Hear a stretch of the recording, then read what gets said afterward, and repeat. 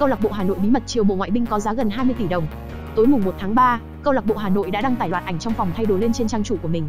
Đáng chú ý, trong đó có một bức ảnh có sự xuất hiện của số áo lạ bên cạnh áo đấu của cầu thủ trẻ Lê Văn Xuân, mang tên Silatzi cùng số áo 99.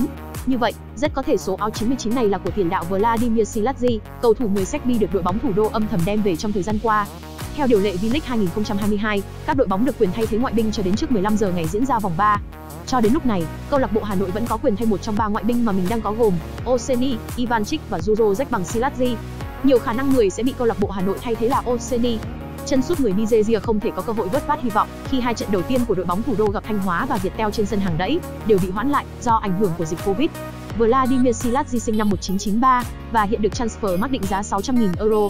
Trước đó, Vladimir Silatzi chơi cho câu lạc bộ Bắc Topola, góp công lớn giúp đội bóng này lên chơi ở giải vô địch quốc gia Serbia mùa 2018-2019.